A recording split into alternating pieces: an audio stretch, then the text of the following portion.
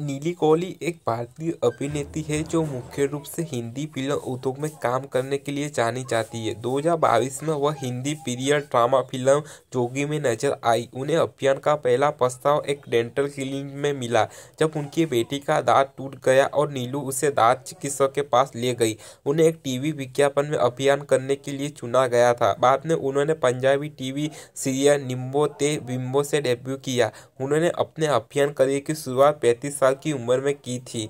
School और college में पढ़ाई के दौरान उन्होंने विभिन्न नाट्य प्रस्तुति में काम किया था। उन्होंने स्टार प्लस के शो भाभी में नंदा कुक्कू छावरा की भूमिका निभाई, जो उनके लिए एक सफलता साबित हुई।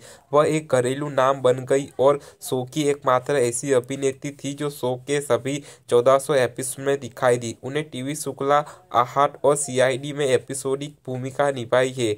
बाद में उन्होंने मीट खुशिया ये मेरी लाइफ है, प्यार की कश्ती में जब लव हुआ, समेत कई टीवी शो में काम किया और अधिक। उन्होंने कई बॉलीवुड फ़िल्मों में काम किया है, जैसे तपीस, तेरे लिए स्टाइल रन खत्ता एन अय्यर और भी बहुत कुछ। उसे ध्यान करना और योग्य अभ्यास करना बहुत पसंद है।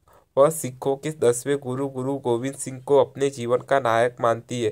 दस वर्ष से अधिक समय तक वह नाश्ते में एक कप कॉफ़ी और एक टोस्ट लेती थी। फ़िल्म या टीवी शो के सेट पर काम करते समय वह बीच बीच में काली चाय पीना पसंद करती है।